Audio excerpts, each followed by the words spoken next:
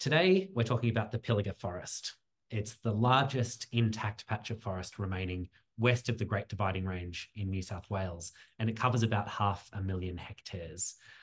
It's part of the traditional lands of the Gamilaroi people, and it grows on the sandy plains north of Coonabarabran. The forest supports a huge diversity of eucalypts mixed with cypress pine and bull oak, as well as more open shrubby areas of melaleuca. In 2016, AWC entered into a partnership with the New South Wales National Parks and Wildlife Service to establish a major reintroduction project in the Pilliga. The objective is to return six locally extinct mammal species to the area within a specially constructed feral predator-free area of 5,800 hectares. And to tell us all about how the project is going, I'm joined today by Dr. Vicki Stokes, who's Senior Wildlife Ecologist in the Pilliga. Vicki, thanks for joining us. Thanks, Joey. Great to be here, and thanks for everyone who's listening in. I'd love to start by getting you to paint us a picture of what it's like in the Pilliga Forest. What's that landscape like as you're driving through it and walking through it? Yeah, so it's quite a unique landscape. When I started working in the Pilliga just over two years ago, I was quite amazed at how different it sort of almost looked like a little bit like an alien landscape to me compared to the to the forests and woodlands I'd worked in previously but yeah it's very dominated by cypress pine as you mentioned um, with a whole other mixture of other eucalypts, ironbarks, and pilliga box and other box species, as well as Allocasuarina, um, which we refer to as bull oak. So, um, and very different. Um, yeah, the cypress pine does make it very different if you've never been in that landscape before. So, um, it's quite a different tree species to all our eucalypts. Um, and yeah, there's very the the forest or woodland as people refer to it is yeah different structures you know some in some places it's very woodlandy looking in other parts it's more forest with a bit more sort of understory and shrub cover. And we also have shrubland habitats mixed in amongst the forest and woodland which is very low growing shrub um, which is often bordered by sort of more mallee mallee type eucalypts. Um, yeah, and sort of patchily distributed throughout the landscape. And it's sort of on that interesting overlap where you get, you know, species that are more common on the east coast at the western edge of their range, and then some of those more inland sort of um, you know arid adapted species on the eastern edge of their range so it's quite diverse for things like birds isn't it Absolutely. Yeah. So we do get a mix of of birds, yeah, as you say, that, you know, um, yeah, from stuff that is more sort of in semi-arid, um, and then yeah, some species that are actually um, on both sides of the Great Dividing Range. Yeah. Mm. Great. I'm sure some people have been out there bird watching. Um, it's it's a hotspot for that kind of thing. Now, AWC's project is largely revolving around a, a, a project to restore some of the locally extinct mammal species to the Pilliga forest. So just how many species are missing from this landscape? What, what sorts of species are missing? And what have we what have we done to try and rectify that? Mm. Yeah, so unfortunately, the Pilliga, like many places of Australia, does not have a very good um, history of, of, we have lost quite a lot of species, um, particularly mammal species within that um, critical weight range between sort of about 35 grams up to five kilograms. Um, and yeah, Pilliga is not immune from that. So we have lost quite a lot of species. Um, some of the species that we have lost that we are looking, um, that we have reintroduced are things like the greater bilby, um, brush-tailed bettong, um, the um, western barred bandicoot, also known as shark bay bandicoot, um, the western quoll or chuditch, um, and bridle nail-tail wallabies. So yeah, um, and we've lost quite a lot of rodent species from the landscape. There were previously in historical records, um, between historical records and fossil records, estimated at 11 species of, of native rodent in the Pilliga, and we only have one existing native rodent, the Pilliga mouse, um, in the Pilliga. So there's been a considerable loss of those really small, small mammals. And It'll we are reintroducing yeah. the we've re- recently reintroduced the plains mouse, which is one of those species. Great. I'd love to talk a bit more about the plains mouse because I don't think most of us are very familiar with the range of native rodents that Australia is home to. Um, but there's a, a, huge diversity of these these species. Tell us a little bit about the plains mouse. What makes it different from other native Australian rodents? Yeah, so the plains mouse is yeah one of, of our unique rodents. It's actually um, in the Pseudomys genus, and we've got 23 species of Pseudomy um, in Australia. Um, and it they are considered what we refer to as old old endemics. So people will, might hear of um, sort of old and new um, Australian endemics in terms of rodents. So and what that means is that um, the ancestors of Pseudomys um, are one of the first you know rodents to actually um, move into Australia um, from from Asia um, about five million years ago. So they've actually been in Australia, the ancestors, and then you know different species have evolved from that common ancestor to occupy lots of different habitats and parts of Australia. And it's something that's you know, the rodents don't really receive much attention, unfortunately, in Australia, but they're absolutely beautiful animals. And the um, interesting thing about the plains mice um, is that it is one of the rodents in Australia that that still lives in very arid environments, um, and it is one of our larger um, larger um, pseudomys. Um, it's often referred to as plains rat because it really is in between that size of a of a mouse and a rat. So we'll go with mouse. Uh, yeah, for their sake. Um, yeah. So one of the larger native rodents, and you were saying it's got quite an interesting distribution. Like it's found in parts of the Simpson Desert and east of Lake Eyre in sort of Gibber country, so very very arid, stony plains. Yes. also with a historical range right up to just west of the Great Divide, including the Pilliga. Mm. Um, but we know it's missing from a huge chunk of that historical distribution. So it's one of those mammals that has contracted. And so to re-establish a population of small mammals like this in the Pilliga, what sort of steps are involved? Yeah, so as you said, it has it's we're sort of estimating that it has contracted by about 50 to 90% of its range. It used to occur from way over on the western side of the Nullarbor, and as you said, right up into um, the Pilliga. So um, Gould did describe the species within the Pilliga. Um, yeah, so we're pretty confident that it used to be there as well as from fossil records.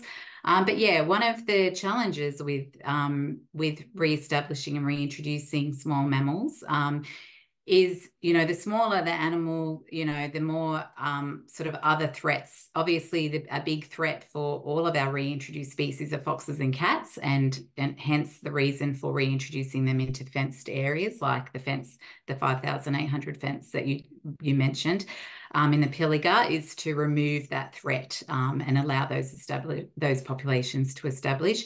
The smaller you get um, with rodents, they're on the bottom of the food chain. And so it's not just feral um, predators that are an issue for these species, but a whole suite of native predators. And in the Pilliga, things like barking owls and barn owls. Um, you know, plains mice will be a lovely morsel for them, as well as things like goannas and um, snakes. We have quite a few nocturnal snakes, and um, the threatened pale-headed snake is one that we do have in the Pilliga forest. So, yeah, we have to, um, when we're reintroducing a species, we do need to really reintroduce a much higher number of animals, um, knowing that the survival, you know, is not going to be as high as some of our larger animals. Um, the other challenge with small mammals, which has been um, which is in the literature, and it's something that other um, ecologists and organisations translocating small mammals have found, is that there is a tendency for them to what we call hyperdisperse, which is mean where, where you release them,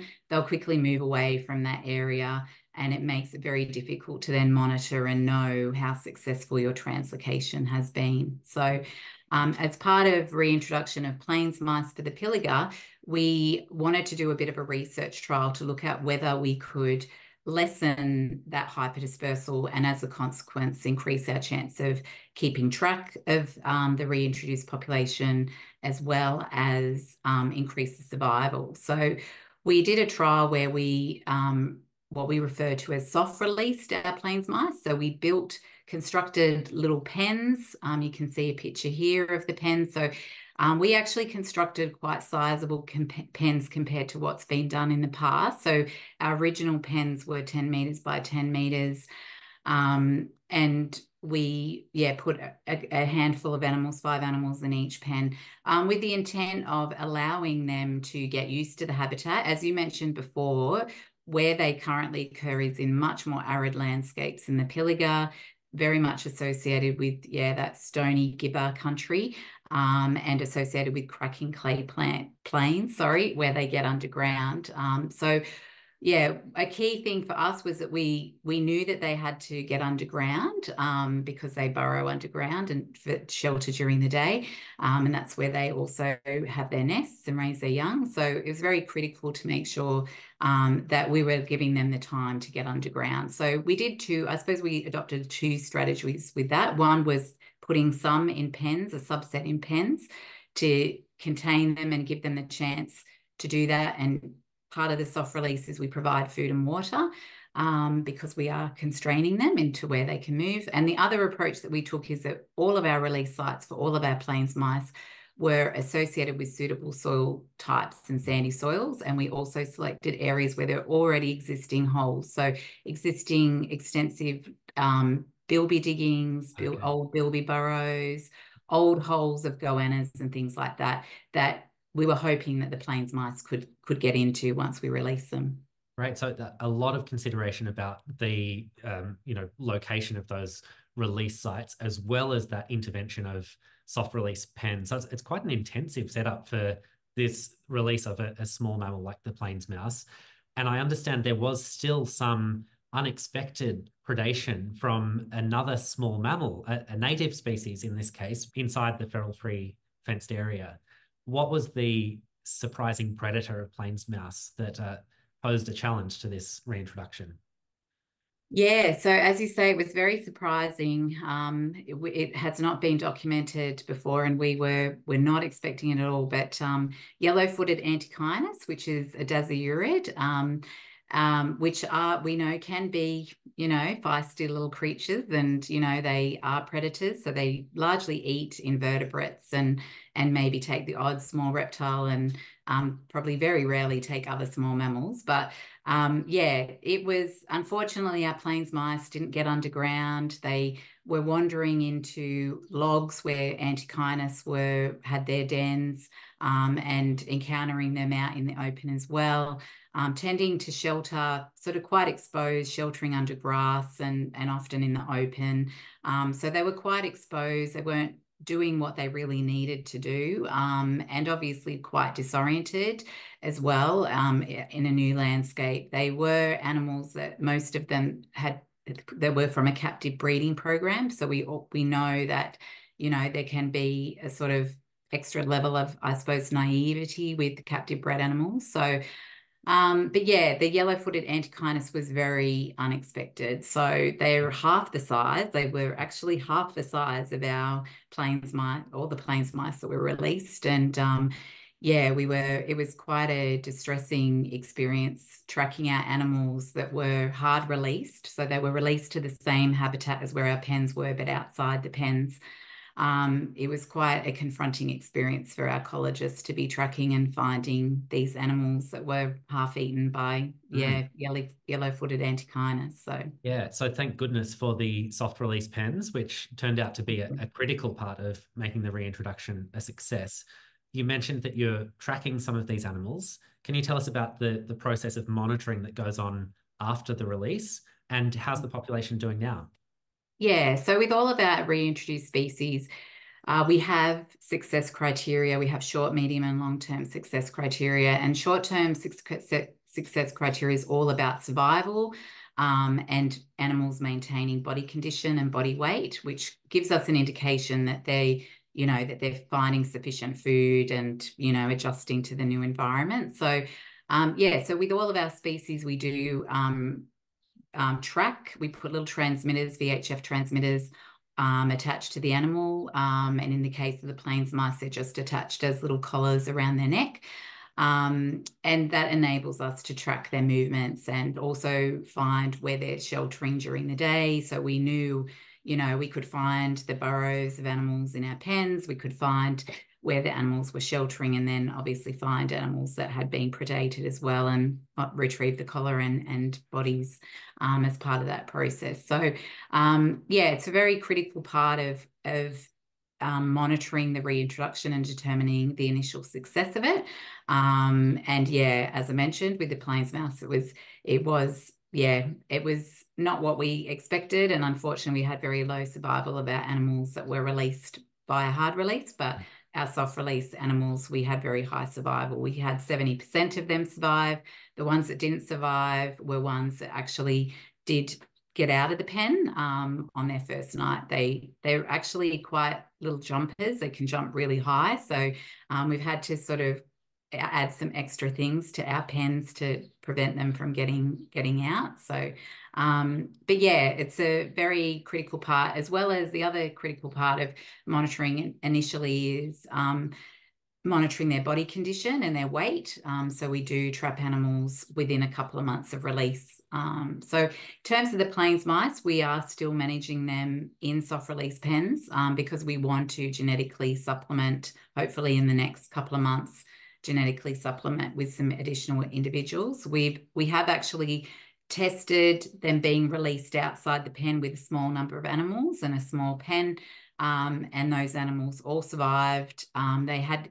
We know they had encounters with black rats and antechinus because um, black rats were also another predator when we released them. Not as much as the yellow-footed antechinus, but some individuals were taken by, by black rats. So um, we we're feeling comfortable now that the animals uh, have adapted. They've got their burrows. They they're doing an amazing amount of work on their burrow systems. It's been quite a pleasure to watch in the pens um, what they do with their burrows. They're they're quite clever. They move their entrances quite regularly, which is what we want to see in terms of their ability to to survive in this landscape with a whole suite of native predators. So, um, and yeah, they, we can actually see with some of the older burrows um, the extent to which the tunnels extend because they pop little air holes up. Well, like once it's a certain distance from the actual burrow entrance, they'll pop little air holes up that just look like a little round sort of spider hole that goes down into the tunnel. So, um, yeah, we're sort of, yep, learning lots about them and, and keeping a close eye on them still in the pens and hopefully look to opening up. We're pretty confident that we'll be able to open it up, um, but we just want to get some genetic supplementation with some new individuals um, from arid South Australia, from wild populations to add. Great. It's it's such an intensive period of work to help these populations become established. But um, great to hear that the plains mice are now doing well in the Pilliga within those soft release pens and and hopefully beyond um, before too long. There have been another couple of species reintroduced since we had our last update from the Pilliga. Could you tell us about this one? It's another one that's um, declined a lot across Australia, but has succeeded in these fenced safe havens. This is the beautiful brush-tail bettong. Um, and we sourced brush-tail bettongs all the way from Western Australia. Um, so um, it was a big journey for them, but I was really excited about getting brushtail bettong into the Pilliga because being quite familiar with um, where they occur in southwest WA, the remnant populations, I felt like the Pilliga was going to be a really great new home for this species. Um, and they haven't proven me wrong. So they've, yeah, they've done amazing. They've They've um, hit the ground running really and pretty much um, doubled in population from their release in September um, 2022 to um, when we last monitored them in December 2023. So, oh. yeah. So doubled in population in just uh, just over a year. Wow. Yeah, yeah. And I'll I'll share a map of the fenced area here so that people have um, an understanding of the the area that we're talking about here how large is the fenced area? And have all of the animals dispersed across across that whole range or are they still sort of spreading out? Yeah they're still spreading out. So the whole fenced area is 5800 hectares. And you'll see on this map on that western side of the the fenced area, there's a a breeding area um, with the yellow with the yellow diagonal lines on it. So a lot of our species were originally released into the breeding area, so bilbies, bridle nail-tail wallabies, and that was specifically for for genetic mixing of two populations of each of those species. Um, but we have subsequently also had to release brush-tailed bettongs into that breeding area um, because of the presence of a fox in the, the wider fenced area. So yeah, there's an internal fence separating the breeding area to the wider fenced area.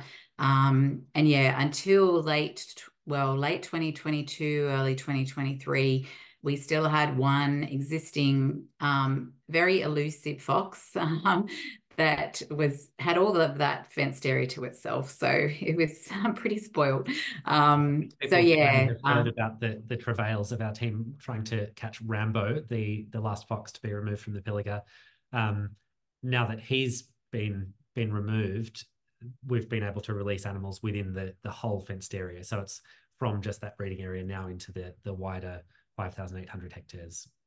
That's right, and the, and so the bilbies have so the fence has completely been removed, uh, that internal fence, and um, bilbies have spread out right across to the other side now. Cameras and trapping is picking them up all over the place. And the same with our brush-tail bettongs, which I was quite surprised about that in that small space of time, it was March last year that we opened up the fence, that they have actually managed to move right over to the other side and using quite a di diversity of habitats now, which is fantastic.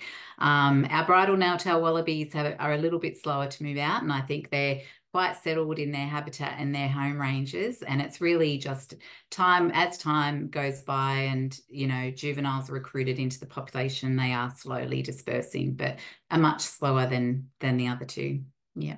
There's another small mammal this one's a, a marsupial that was also released in the last 18 months or so um, and this is an adorable bandicoot.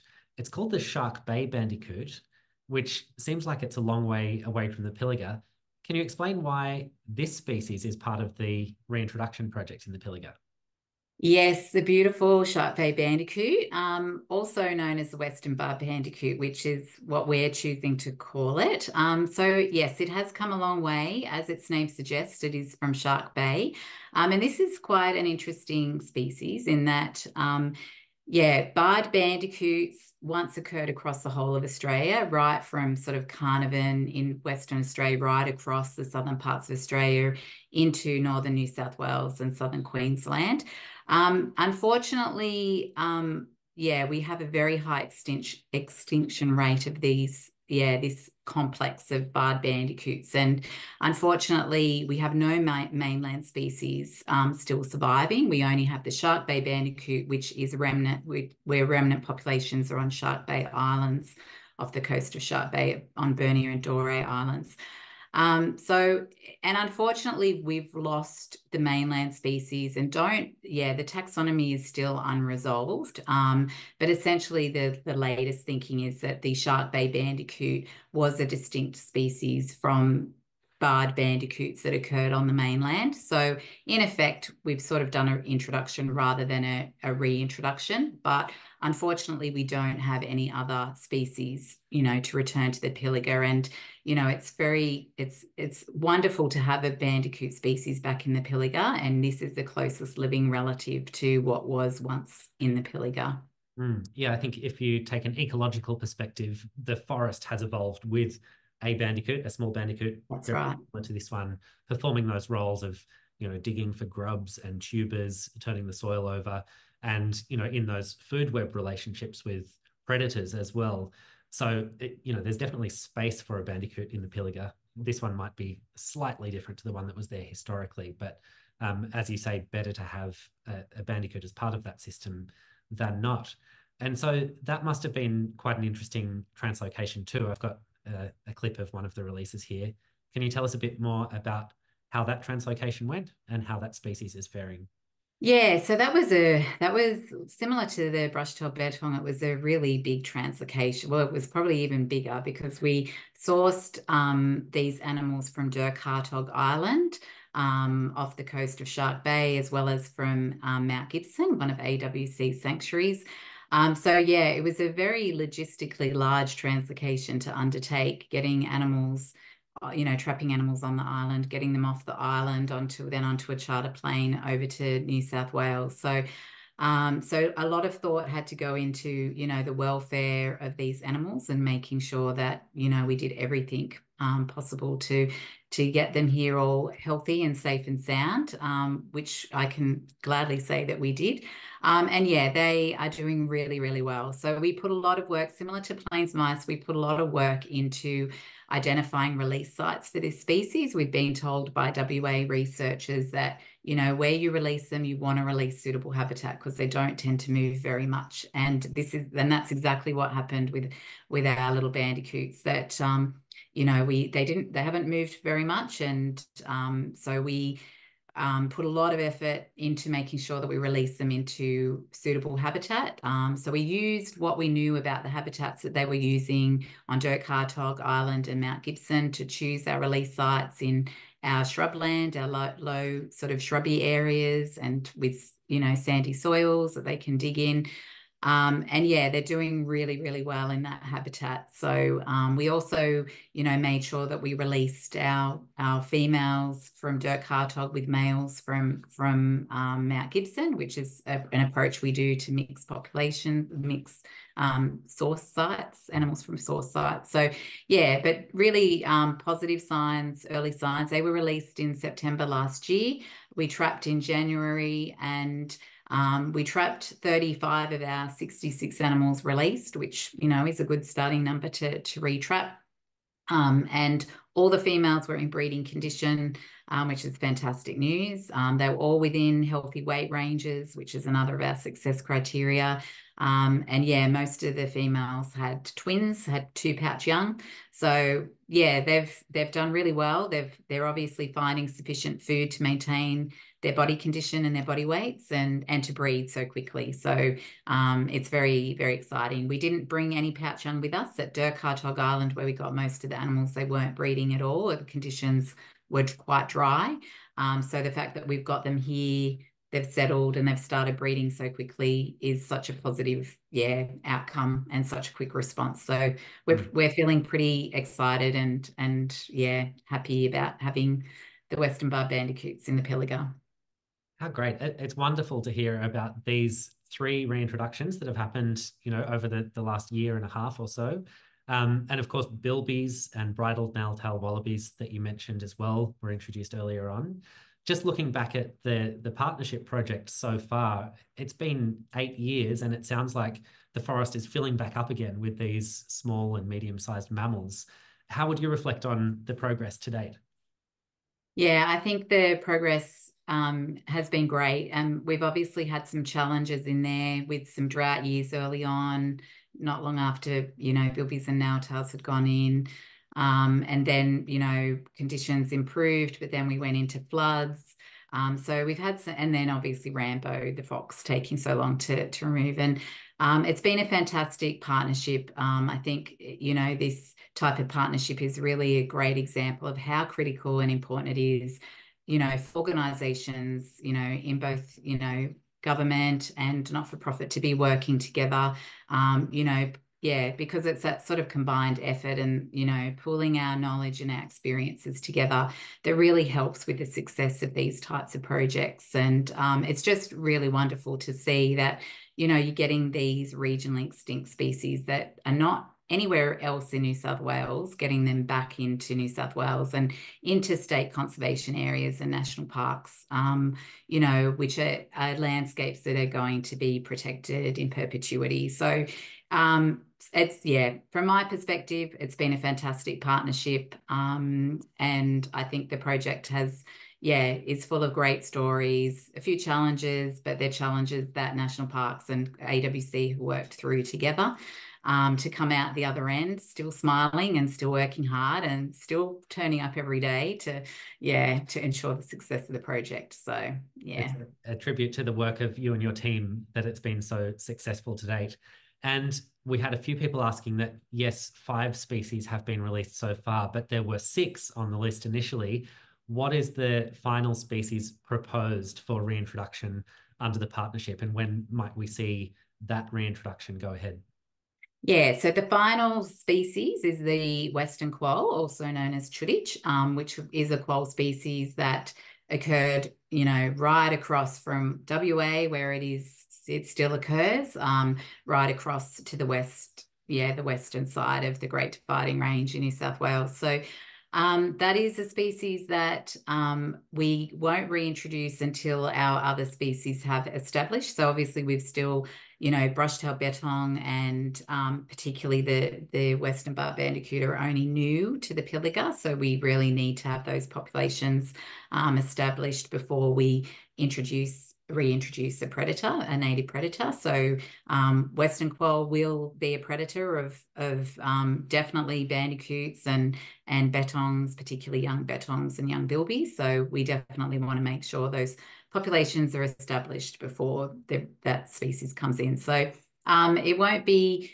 probably in the time frame of our current 10-year contract with the New South Wales government, um, which ends in early 2026, um, but hopefully very soon afterwards. So, Vicki, it's a terrific project underway in the Pilliga. Thank you so much for sharing progress to date, and we look forward to hearing more about it. My pleasure, Joey. Thanks. Thanks for um, yeah.